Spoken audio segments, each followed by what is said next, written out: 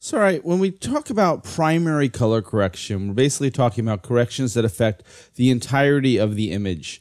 Uh, soon we'll talk about secondary color correction, and that's stuff where you isolate a specific area, like just the skin tones or just the brightest areas or some combination of that to uh, make a, a specialized correction. That's what secondary corrections are. So right now we're talking about primary corrections, and we're talking about basically adjusting the whole image. And to do that, we're going to open up that color board. And again, you get to the color board in one of several ways. You can either go to your magic menu, your uh, auto enhancements menu, and choose show color board. You press Command 6. Or if you've got your inspector showing, you'll see this thing that says Correction 1, and there's a little arrow over here to the right edge of it. Click that, and it opens the color board.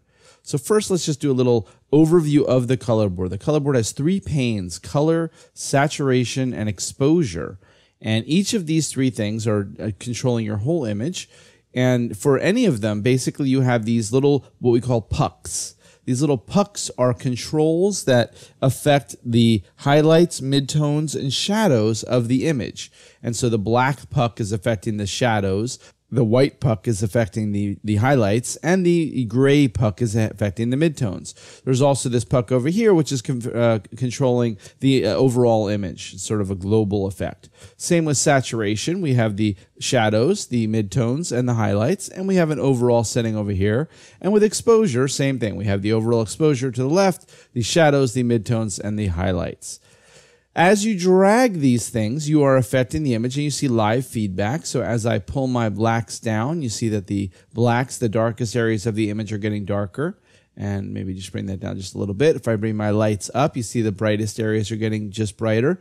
And as I move my midtones, I'm controlling this sort of the mid range, the overall tone of the image. And we can make this sort of look nice and clean or, you know, a little bit more uh, harder contrast like that.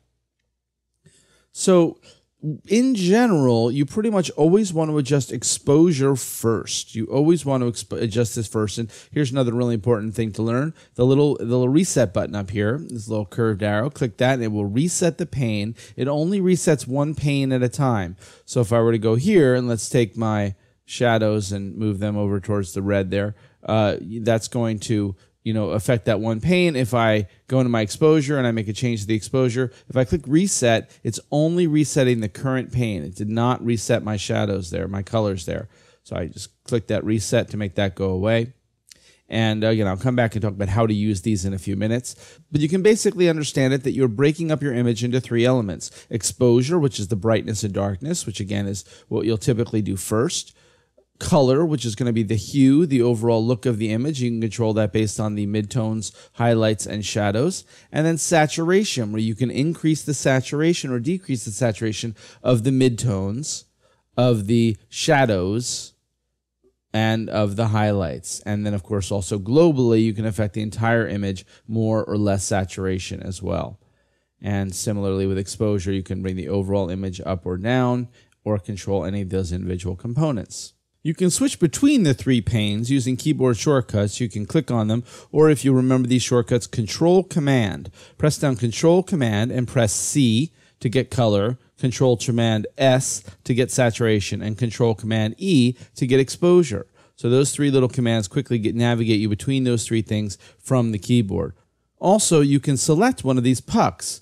And once it's selected, you click on it, it'll stay highlighted like that. You can use your arrow keys to navigate.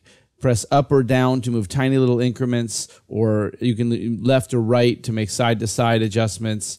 Dragging is going to be not precise enough, so this allows you to work a lot more precisely than the dragging. Uh, but your arrow keys will allow you to move that saturation and exposure. You can only move up or down. The left or right arrows don't actually do anything. But those little shortcuts are going to make it a lot easier to use this effectively.